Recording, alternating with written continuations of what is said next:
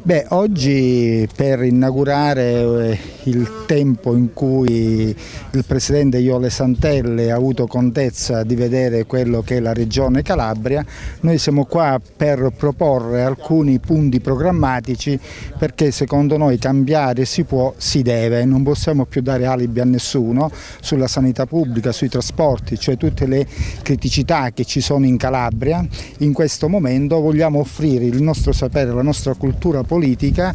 per e non contro. Innanzitutto proponiamo, facciamo dei punti sul piano sociosanitario e siamo l'unico partito che ha fatto un piano sulla questione della sanità che vogliamo regalare a gratis chiaramente all'onorevole Santelli sui trasporti, dei, dei trasporti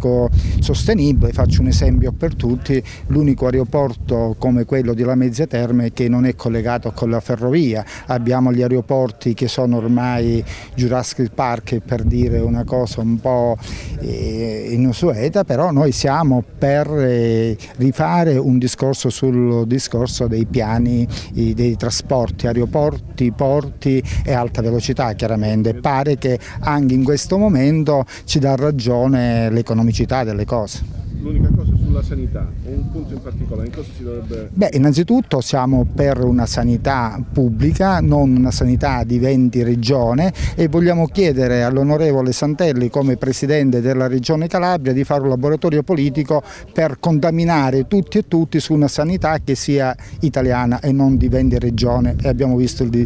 quello che sta succedendo.